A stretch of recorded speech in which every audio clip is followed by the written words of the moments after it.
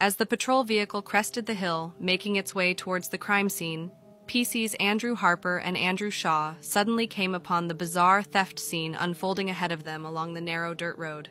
Henry Long's battered sedan was still silently towing the quad bike away into darkness.